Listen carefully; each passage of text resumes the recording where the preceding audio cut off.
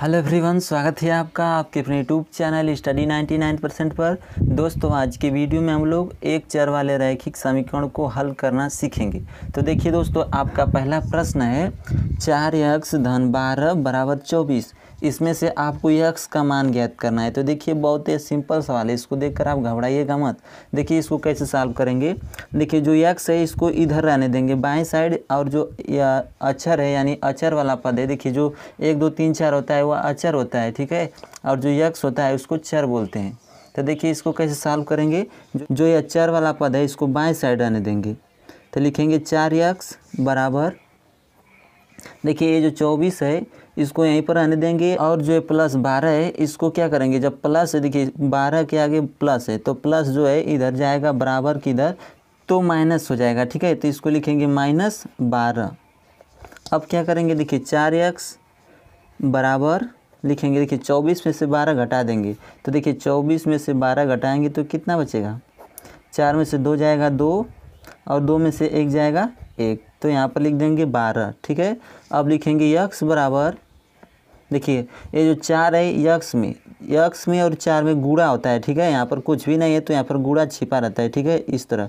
तो देखिए गुड़ा जब रहेगा, इधर जाएगा गुड़ा जब इधर कोई संख्या किसी संख्या में गुड़ा है तो जब वह इधर जाएगा तो क्या होगा? भाग हो जाएगा, ठीक है? तो लिखेंगे बारह बटा के चार तो कितना हो जाएगा? जो चार है, इस यक्स में गुड़ा है तो इधर आएगा तो क्या हो जाएगा? भाग तो देखिए काट देंगे, चार कम चार चार तीन, बारह तो क्या हो जाएगा? यक्स बराबर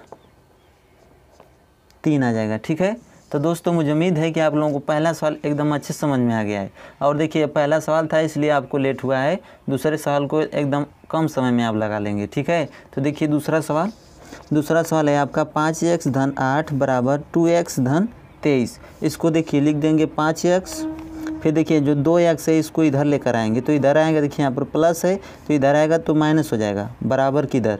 तो यहाँ पर लिखेगी माइनस दो एक्स ठीक है? फिर बराबर, यहाँ पर देखिए प्लस तेईस है तो इसको लिख लीजिए।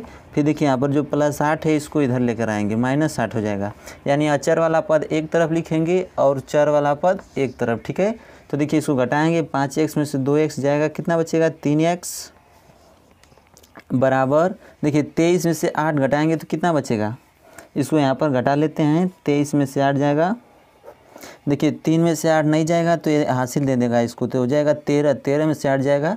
पाँच, यहाँ पर कितना बचा? एक तो यहाँ पर लिखेंगे एक, ठीक है? तो देखिए, यहाँ पर हो जाएगा पंद्रह तो यहाँ पर लिखेंगे पंद्रह। और मैंने आपको बताया है कि यहाँ पर जब गुड़ा रहेगा तो इधर क्या होगा? भाग होगा। और जब यहाँ पर भाग रहेगा तो इधर जाएगा तो गुड़ा हो जाएगा, ठीक है? तो यक्स बराबर लिखेंगे। देखिए, यहाँ पर गुड़ा है।